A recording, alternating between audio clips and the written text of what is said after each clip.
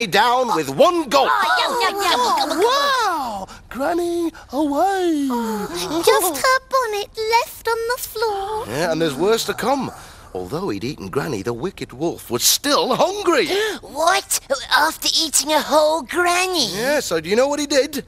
He put on one of Granny's nighties and a nightcap and got into Granny's bed to wait for Little Red Riding Hood. Oh, no! He's planning to eat her too, isn't he, Max? I'm afraid he was.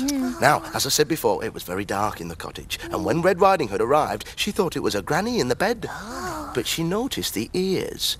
Oh, Grandma, what big ears you've got, said Little Red Riding Hood. All the better to hear you with, said the wolf.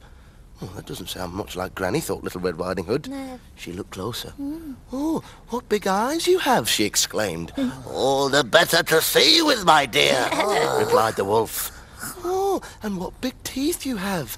All the better to eat you with. With that, the wolf leapt from the bed and swallowed Little Red Riding Hood down with one enormous gulp. No, this story is much too sad for us, Max. I don't like it. Yes, poor little Red Riding Hood. And a granny, don't forget a granny. Yeah, uh, that's a very sad story, Max. Well, I know, Jake, but it's got a happy ending. Well, quick, Max, tell them what it is. Yeah, come on, Max. All right, all right. Well, as luck would have it, Little Red Riding Hood's daddy had decided to come along to make sure everything was all right. And he arrived just in time to see what happened. So he rushed in and bashed the wicked wolf on the head with his axe. Then turned him upside down and shook him until Little Red Riding Hood and Granny popped out of the wolf's mouth. Were being in the wolf's tummy? Oh, yeah, yeah, they were fine, Fizz. A bit surprised, but they weren't hurt. Oh, oh, what about the wolf? What did he do? He got up and ran off and was never seen again. Ah. And what happened to little Red Riding Hood and Granny? Hmm. Why? They lived happily ever after, of course. Oh, wow! What a great story. Oh, they were lucky her dad came by with his axe. Yes, but they were unlucky to be eaten by the wolf. I've got a great idea. Let's make a play about it. Yes, and I can be a... I'll be Little Red Riding Hood. Oh, well, who can I be? Oh, you can be her mummy, and Milo can be her daddy who saves them. Oh, yeah, I'll be good at that. Oh, take that, you big bad wolf. Who can I be? Who can I be? Um, oh, you could be her little brother. she didn't have a little brother. Well, we could make one up. No, I want to be something good. oh, I know. Jake, you can be the granny.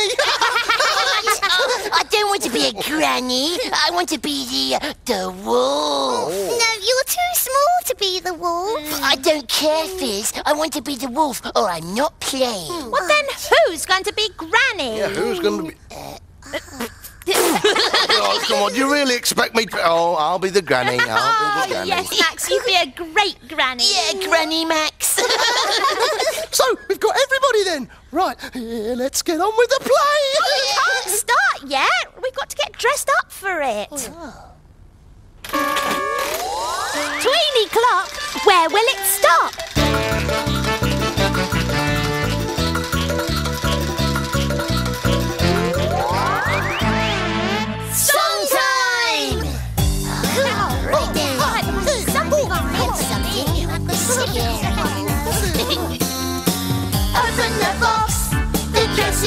Dressing. Look inside, what can you see? What's this? A hat or a coat or a pair of old socks. Whoa! Put them on, what will you be? Oh, look what I found. Oh, uh, what's he going to use that for, Milo? Oh, no idea. oh, oh, this will be good for the father, though. Oh, yeah. Oh, and this would make a great axe. Oh, Chopperoonie! Oh, thanks, mate. Oh, can anyone see anything for me as Little Red